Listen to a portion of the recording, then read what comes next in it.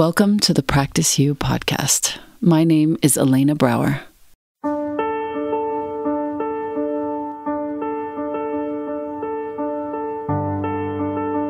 Let's dive into today's conversation regarding life's myriad transitions and how we refine our responses in our relationships, our wellness, our households, our work, and in our practices. You are invited to learn and love and listen with me. Welcome to Practice You.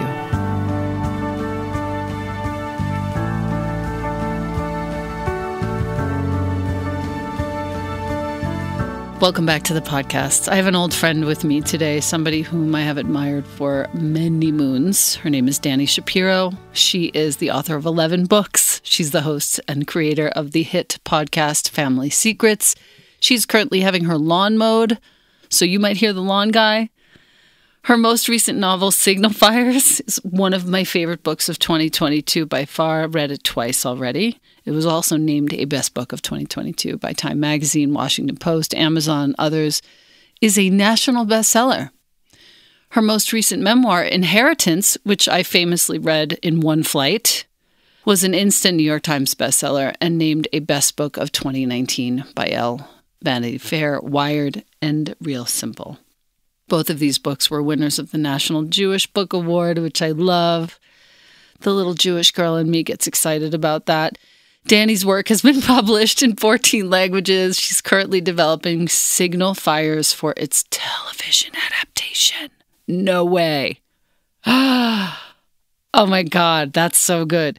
Dani's book on the process and craft of writing, still writing, which I have the first edition here in my little hands here has just been reissued on the occasion of its 10th anniversary. Danny occasionally teaches workshops and retreats, so it's worth it to look at her website, DaniShapiro.com, which is D A N I Shapiro. She's also the co founder of the Sirenland Writers Conference in Positano, Italy, which I also plan to make at the soonest possible time. Dani, it's such a nice treat to have you here. I have lots of questions about signal fires. I am so touched by this book, and I thank you for your time today. Oh, it's so wonderful to be with you, Elena. I'm sitting here with this huge smile on my face just listening to your voice. Mm. Oh, bless. So, as it happens, you know this, but maybe our listener doesn't know this. I have steeped myself in Soto Zen Buddhist studies for the last three years, going on four. And of course, I subscribe to Lion's Roar magazine. And of course, it came very recently with uh, an article with you, a little interview with you. And I thought it was just so timely. The question from the interviewer was Your new book, Signal Fires, is not overtly Buddhist, and yet it seems to be infused with Buddhism. And your response I agree with that. It's been described as my most spiritual work, which is interesting because it's a novel and I've written nonfiction that is much more overtly spiritual. I want to get into that first, and then the second question that the Lion's Roar interviewer asked you. I am on page 102 of Signal Fires, and this is a chapter about Waldo. And as this book proceeds, our dear listener, you will find that we skip generations and we skip around in the chronological time spectrum in such a way that it is at first a little bit jarring and also very exciting. And the challenge for we, the reader, is to follow along, let go of all the needs for things to be in order chronologically, and dip in, just dip into what's happening. I love this so much because you talk. I'm going to read a few paragraphs if that's okay. Please. And yeah, you take us around in his life in such a cool way. He's crossing mountains, valleys softer than moss. All words he doesn't yet know will be three years of no words before his parents send him to the cold office building where a lady will show him flashcards. Bug, dog, girl, bed, trying to get him to use his words. Use your words, Waldo. He will hear this many times and understand just what is being asked of him, but the words won't come. They will be locked in a place within him. His mother will worry. Her creased forehead, her puzzled eyes will imprint themselves on him, something he will carry all his life. Whenever he disappoints a woman he loves, it will be this look on his mother's face that he sees without knowing it. He will be a grown man someday, an esteemed professor of astrophysics who is unable to use his words. Talk to me, Waldo, his wife will say a thousand times. Talk to me. So, this is but one, our listener, of so many examples of some of Dani's writing that just moves me to tears. And I never know exactly what's moving me to tears, but I just know this. If you're a writer and you're listening to us right now, let go of everything you need chronologically and just start to put down facts and descriptions and notes on pages because I feel like I'm in your head, Dani, finding your way through this character and learning about him across a timeline that has no chronological respect whatsoever. And yet I'm learning more about him in two paragraphs than I could possibly learn if you had given me the whole chronology of his life. Mm, I love that. You know what I mean? I do. I yeah. do. I mean, one of the things I thought a lot about, um, I think a lot about generally, but I was thinking a lot about while I was writing Signal Fires, is that we live life forward, inexorably forward. I mean, time actually does move chronologically forward, but our experience of time and of memory and of our lives and of our inner lives are nothing if not like a chronological. They are kaleidoscopic. And I really wanted to try to capture that in this novel and in the way that this constellation of characters, as I think of them, Waldo being my favorite. So I'm so glad that you read a bit in Waldo's world. But, you know, we're able to experience him as a newborn and as an 11 year old boy who's very lonely and, you know, life is not easy for him when he's 11. But then we get to feel the great satisfaction of knowing that he's going to, in the fullness of time, become this extraordinary person with a fulfilled life. And then it allows us to tolerate the things that are hard about his present when he's you know, a young boy. And certain poems of mine in a late editing, it inspired me to change a few things around and stop thinking my reader needed to have things in order mm-hmm. and really kind of go off what I thought I had to do in a way that made things very, very moving and touching for me you know, as I was writing them.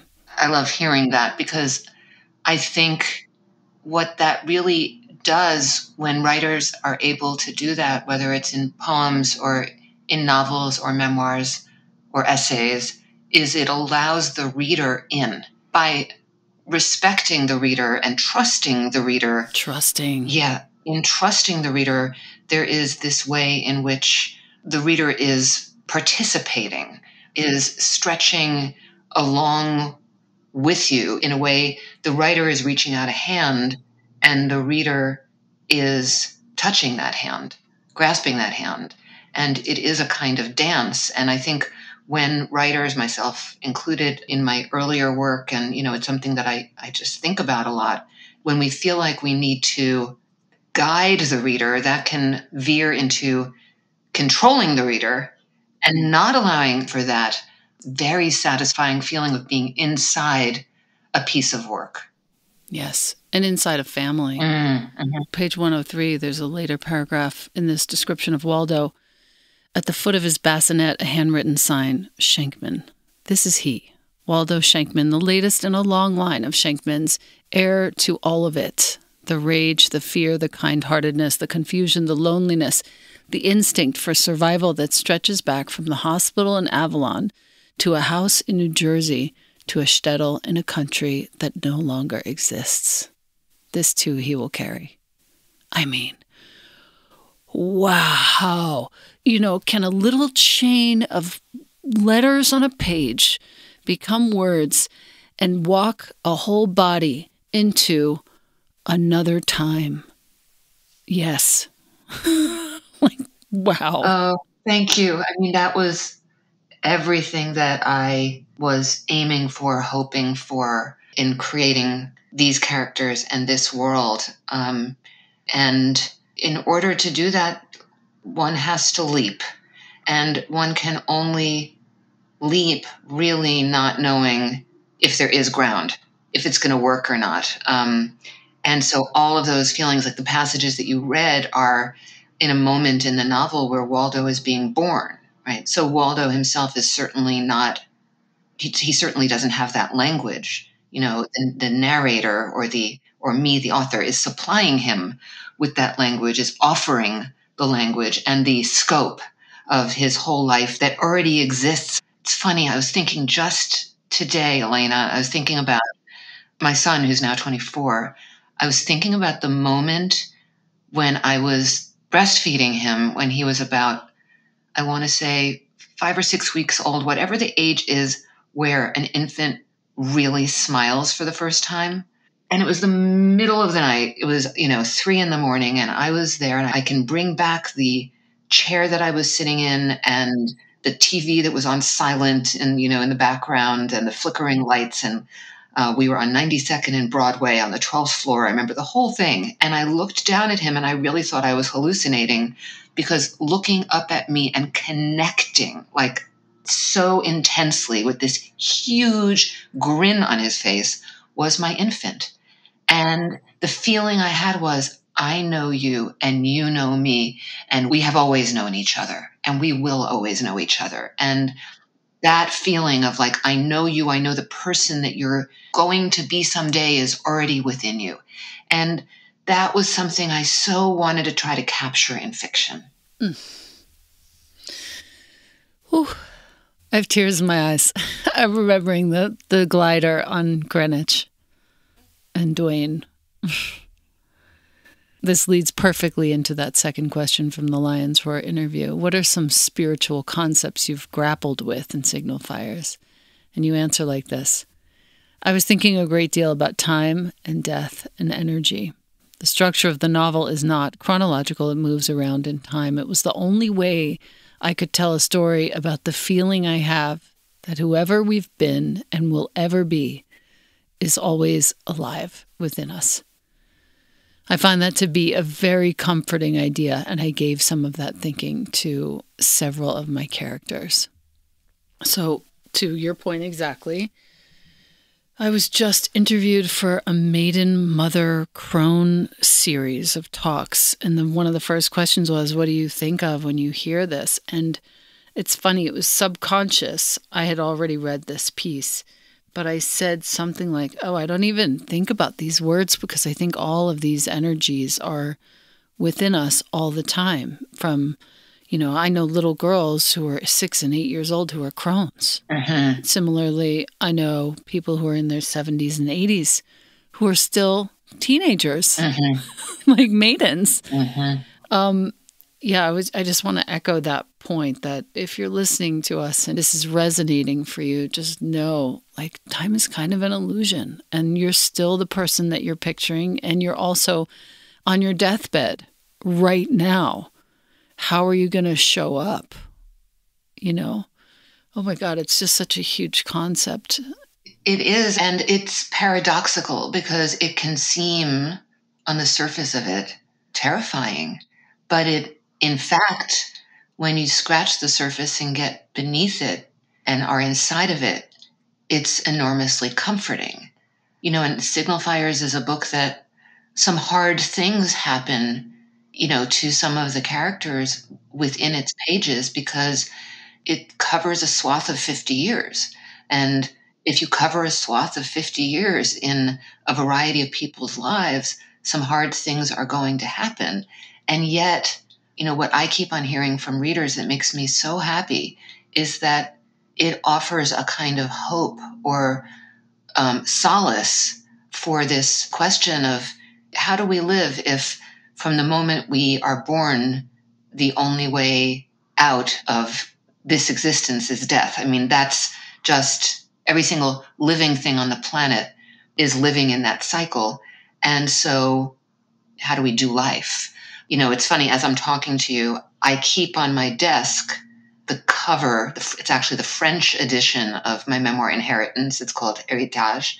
And the reason why I keep it on my desk, propped up and looking at me, is because the cover is an image of me as a three year old. which it wasn't in the States, by the way. In the English version, it was just a little dress hanging on the That's right. That's right. In several foreign editions, in Russia and in France, they've used this image that was actually a professional photograph taken of me as a very small child. And I keep her near me because there's just something on little Dani's face in this image that I want to remind myself of and to understand that that child is still very much alive and you know inside of me present. Yes. I love that picture. It's funny because we have a, a dear and deepening friendship but we don't really get to spend a whole lot of time together. And it just so happens that i also have a picture of myself as a six year old on my desk to remind me of who i am. Mm. funny? Mm. it's so strange. Mm and wonderful. Wow. I mean, it is. And we sh- share that curiosity and desire, I would say, um, that I feel to sort of hold all of the all of the selves, even the ones in, in this particular case, that's a pretty comfortable one for me. But you know, I have an image of myself from my very brief modeling career in the 1980s and it's hanging in our basement. It, my husband calls it my star 80 picture. And, you know, I don't have a particularly comfortable relationship with that photograph. I mean, my eyes are sort of vacant. I'm lost. I'm a mess. I'm, you know, really like sort of at a low point in my life. But that too, her too, she's alive inside of me too. At least for me, I feel like all of those, you know, Russian nesting dolls or in my memoir Hourglass, I use a, a, a metaphor of those paper dolls that you know some of us made as you know that you you cut out and then you open them and they're all connected. They're basically all holding hands and they stretch out all of them over the course of as wide as your arms can go. There's that many. It's so touching to me to hear you talk about these. It's as though we're marching through dimensions when we're talking, and I can see all the way into the past and all the way into the future. It makes me think about I wasn't planning on talking about this with you today because I was going to save still writing for the Circle of Wonder when we talk toward the end of the month. It reminds me of the time that you had to put on that Agnes suit for the research at MIT. Oh my gosh. So, uh-huh. for, for, our listener, you need to get uh-huh. still writing. If you're even remotely interested in writing, you need to get Dani's book, Still Writing. But there's a part of it where she talks about going into this sort of study in, at MIT, and they put on a suit that helps you feel like you're much older than you are. Weights in certain places, spikes on the soles of the feet, like things that would sort of point to somebody who's 80 or 90 years old the pains they would have, the heaviness, the gravity they would feel. Can you talk a little bit about that experience? Because you don't talk deeply about it in still writing, but it really dawns on me. Yeah, that was such an unexpected gift um, having that experience. And it was a real moment of, of education for me as well because my husband and I were both at this place where they were doing these studies. And we were there because we had been hired as writers to write a play for a pharmaceutical company. It was really actually quite a low point where I thought, like, oh my God, my life as a writer has come to this. I'm working for Big Pharma and I'm writing this play to increase people's empathy for those who are suffering from Alzheimer's because it was an Alzheimer's drug trial that they were. And yet, because we were there, one of the things that was happening there was this Agnes suit that had been designed specifically so that wearers would be able to increase the depths of their empathy toward people who are elderly and suffering with dementia. And I just randomly was chosen to put this suit on. It, looked like an astronaut suit. It had um, bungee cords limiting uh, your range of motion in your arms and legs. It had scratched goggles that were sort of yellow tinted goggles, really, really affecting your ability to see, headphones that were creating just a ruckus of noise with sounds coming in and out that were sort of indistinguishable from one from the next, and Crocs that were had been outfitted with spikes in the soles so that um, to mimic the feeling of neuropathy. And in this suit, I had to like climb a flight of stairs and go to a buffet and pick up a plate and, you know, put some salad on the plate and find a seat and sit down. And it was an absolutely illuminating moment that also showed me how I might be as someone in that, um, you know, in that state, which basically was I just wanted to sit down and wait it out. you know, there were other people who were, you know, fighters, um, or you know, were sort of raging against it or looking for workarounds. That person, that window into that person of just extraordinarily restricted capacities was something that I didn't have in my playbook. You know, I didn't have that as something that I had experienced. And it was all because we were doing this job that we didn't even want to be doing, which to me, you know, it was one of those lessons in just showing up and actually really having no idea what the larger plan is. Then coming to find out that it was actually a really wonderful window. Wonderful. And as I was experiencing it, I didn't know that I would ever write about it. I sort of tucked it away. And it actually was my memoir, Hourglass. Um, I think I wrote about it in Still Writing, but I, I know I wrote about it in Hourglass because Hourglass is about marriage and time and memory. And we were both having these experiences of, you know, these empathy tests related to aging and dementia. And we each handled them very, very differently, which was just absolutely fascinating to me. I got a little peek, you know, like you're talking about the little peek in signal fires. I got a little window into who my husband might be as someone, you know, who is. Yeah. Yeah. It's interesting when you said I just wanted to sit down and wait it out for a moment. It speaks to your practice, I think. yeah. For real. Like you have a very regular, supportive practice in your life for a number of decades. And to not resist, but in fact to accept and then, you know, move as sort of elegantly as you can through it and wait and listen uh-huh. is probably a pretty good recipe, uh-huh. I would say. And perhaps that's what all of practice is for, in a way. Yeah. Unquestionably, that is what it is for, for that end of life. I just had the privilege of one of my dearest friends, Jody, whose father was the person who advised us to leave New York for COVID if we could, just passed. And before he passed, he, his already liver was failing. He was already sort of a different color, and he was fully cognizant and he was fully cognizant that he would be dead in the next 48 hours. And he recorded a video for his grandchildren, twins, Raven and Rowan. It was the most beautiful thing I've ever seen. Mm. They're like four. He was letting them know that every single time they look up at the sky, they need to ask their mother where he is, and she will point to the cloud. That is him. Mm. He will take care of them. He will watch over them. He will protect them. Like he was this kind of a dude. It was the most touching thing I've ever seen. And it made me think, like, okay, this is something that I feel like all of us should do. Record the message to the folks that we love the most, maybe even once a year, just in case. It was so moving. And it was so like he was too far down on the screen he was like lying down, so it was really an awkward angle. You know what I mean? All the things that you wouldn't do.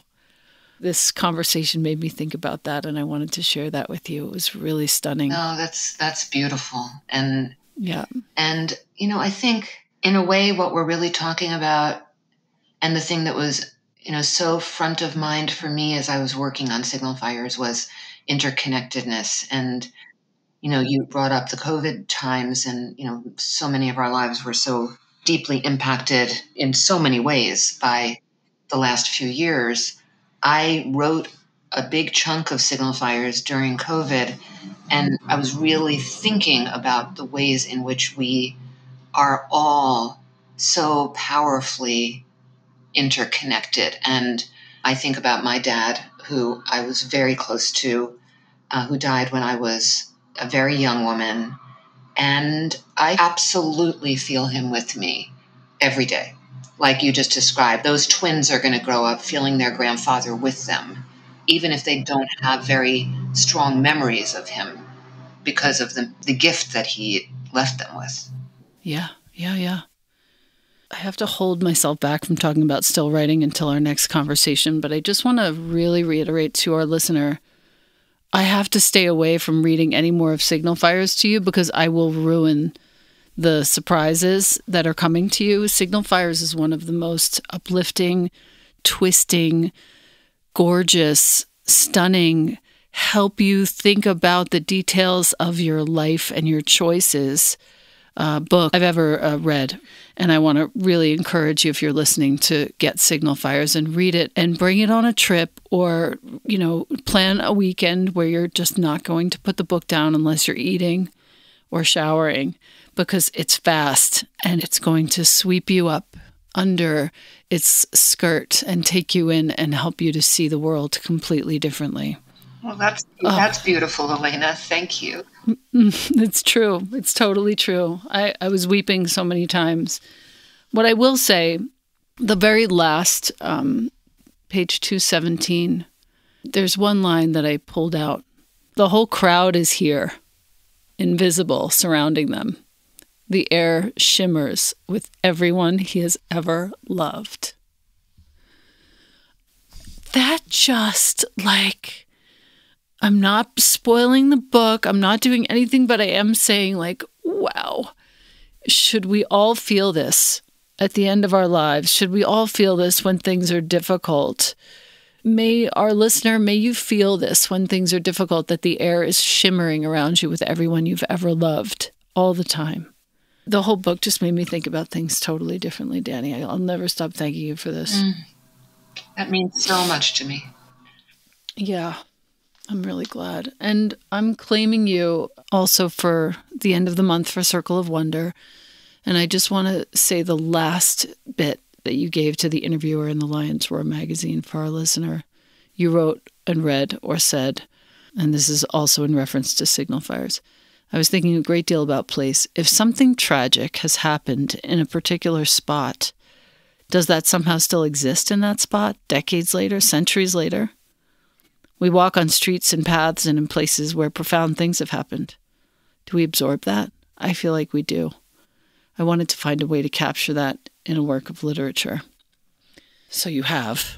Um, obviously, you have. Um, I will not say any more about it because I don't want to ruin it for our listener. But I will say this if you're listening to us and there's a certain place where something happened that was really hard or something happened that was really wonderful, the place I think, and as Dani can attest, still holds the energy of that event. And I think it's nice to just have a little bit of healthy respect for that and act accordingly. I wonder what you think about that, Dani. I'm sitting here nodding. I feel that so strongly. And more and more, I feel that. And, you know, I'll tell you just a, a brief story, um, which when I was working on Signal Fires, I didn't have a title. I really, I didn't have a title until I finished it. And the file name in my computer for the novel was Magic Novel because that's what it felt like to me. And I had started the book more than a dozen years ago and I had created all of the characters. I had written about 100 pages that remain pretty much intact in the book as it is in the world. I needed to stop. I wasn't ready to finish it. I had lost my way and I put it in a drawer. And so there's one character in Signal Fires named um, Dr. Benjamin Wilf. And I had fully created him along with Waldo, along with all of the other characters in the novel And then about six years later, I made the discovery that I write about in my memoir Inheritance. I made the discovery that my dad, my beloved dad who raised me, was not my biological father, and that there was this completely other human being out there in the world who I hadn't known existed, who I literally come from biologically. And I was able to meet him. And it's a long story, which I won't get into in this conversation, but I'm mentioning it because I had already created the character of Ben Wilf. Oh my God. And oh my God. Yeah. And, and when I returned to the novel, the magic novel, and I then finished it, there is this character who, like my biological father, is a doctor, is in fact a pulmonologist, who is a lover of poetry, who is a very fine human being, who sort of is gentle but also has a very strong like spine to him. I never once thought about it as I was working on the book. And when I finished the novel, like I gave the manuscript to my son, who is always these days one of my first readers. And I'll never forget this moment. He came into my office and he was holding the manuscript and he said, Mom, he's just like him. So explain that to me, oh Elena. God. Oh my God. I'm just now recalling, you know how when you read a book, the place where you read the book becomes part of the book? Mm-hmm, mm-hmm. I'm in the hotel room in Denver where I read the book in the tub, basically finished most of the book in a four hour tub that I had to reheat many times. I've, I've mentioned this to you before. The book Inheritance, where we meet your biological father for the first time. And it didn't even dawn on me, but of course, Ben Wilf in Signal Fires even is descriptively looking like him. Mm-hmm. Mm-hmm. And anyone who doesn't know what I'm sharing now, who had read Inheritance, would think, oh, well, Dani must have based this character on her biological father. That would make sense. But I didn't.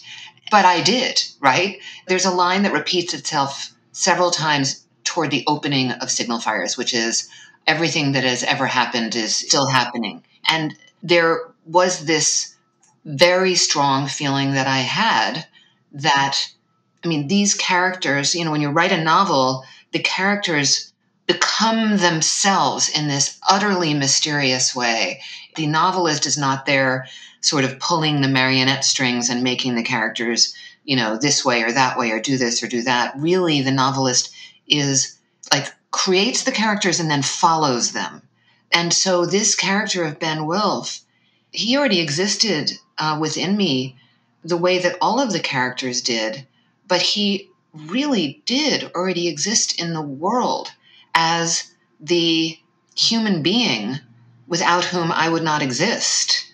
And it's like if I had written Signal Fires after that discovery and that encounter and getting to know my biological father, if it had been afterwards, I probably would have been able, psychologically and creatively speaking, to trace it back and go, oh, yeah, that's probably where the origin was.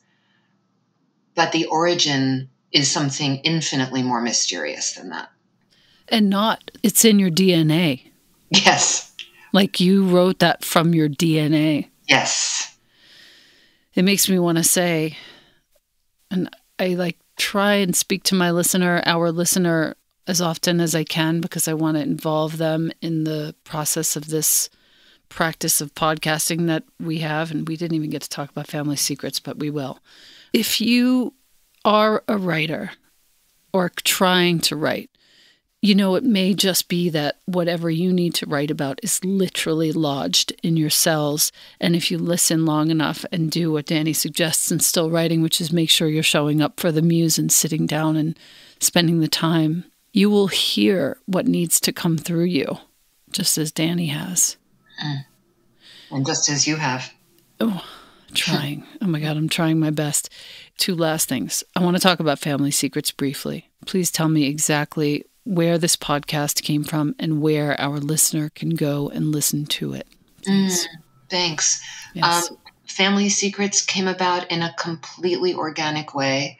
I was working on Inheritance, which was about the discovery that, in fact, I was the family secret, that my very origins were kept secret from me. And people started, well, people actually always had tended to share pretty intimate stories from their lives with me. And, but they began to more so. And I found myself one day, I was actually on the phone with my dear friend, the Buddhist mindfulness teacher, Sylvia Boorstein. And Sylvia was telling me a story of a family secret of hers.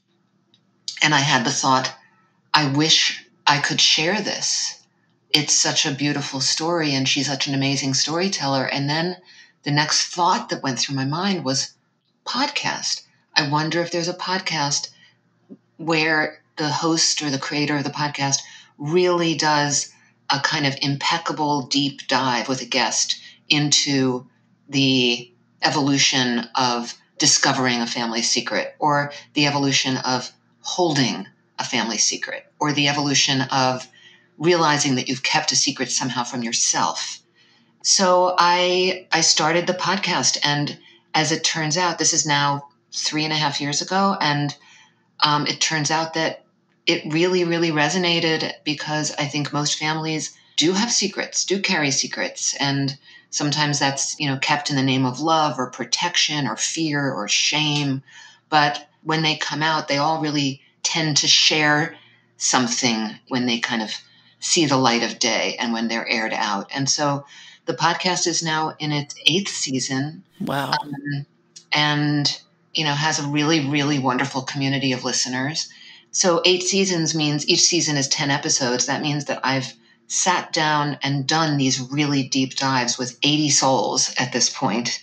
And it's been such an honor and a privilege and a kind of amazing thing for me as someone who spends most of my time very much in my own inner life and alone in a room, being able to really connect voice to voice. I mean, to me, you know, right now we're having a conversation, we're not looking at each other. Our listeners will be listening to this conversation in their ears, you know, in their car or when they're folding laundry or when they're out for a hike or, um, you know, it's a, a very intimate experience. And I love that so much about it. And so, yeah, it's just been one of the gifts in my life. And in terms of, I mean, you can, wherever you get your podcasts, as they say, um, mm-hmm, mm-hmm. just Family Secrets is available. Wonderful. Wonderful. I'm so grateful for all the work that you've done. And the last gratitude I would like to deliver once again, and I'll repeat this many times over. But you're pointing me in the direction of Anne Truitt, artist and writer, mm.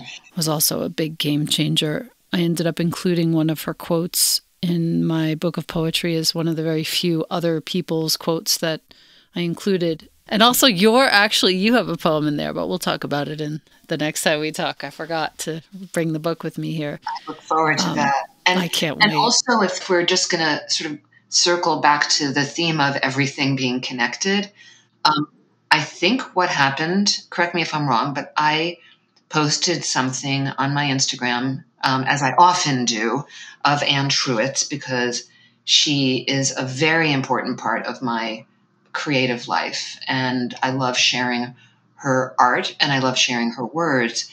And you wrote to me and you said that you had made a painting that was eerily similar. Yes, to, right. Um, this image of a sculpture of Anne Truitt's that you had never seen.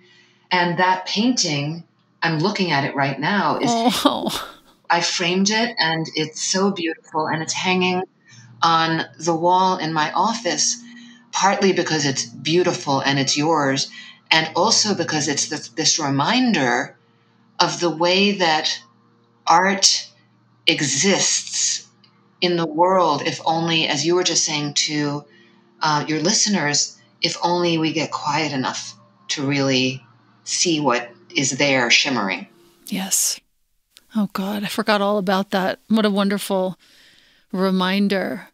And she has changed my life. And the quote that I put in was something about coming into the inheritance of her own life, a realm over which time has no sway. Mm. And I wondered, as my last question, if you had any sort of cognitive clocking of that quote when you wrote Inheritance. That's interesting. Uh, not cognitive. Yeah. Um, but I certainly, as you speak it, it was important to me too. I remember it, and Anne Truitt is very much, um, a, you know, a guide for me in my life as a woman, uh, an artist, uh, a mother, a person in the world, um, getting older, navigating all of life's passages with an open heart and a kind of discerning intellect. And I don't know if I ever told you this, but I crossed paths with her once. No. Um, I was at Yaddo, which is this great artist colony in Saratoga Springs, New York, and Anne Truitt was at Yaddo at the same time. It was an August. I was a young writer. She was an older writer. She was formidable, and I was shy and probably suffering from a certain amount of imposter syndrome around all these great composers and artists and writers and poets who had graced the, you know, halls of Yaddo over the many decades. And I was too shy to ever speak to her. And I knew nothing of her work. It was my first encounter with her. But um, boy, was I, that was also a lesson for me because, you know, in retrospect, what would that have been? Or was I apparently really meant to know her on the page and in her work? And she has a very beautiful account on Instagram. Her um, daughter keeps it up. Her daughter keeps it, and I've gotten to know her daughter a bit. And you know what an honor that is. I remember one day Anne Truitt following me on Instagram, and I was like, wait a minute, Anne Truitt has been not walking this earth for a while now.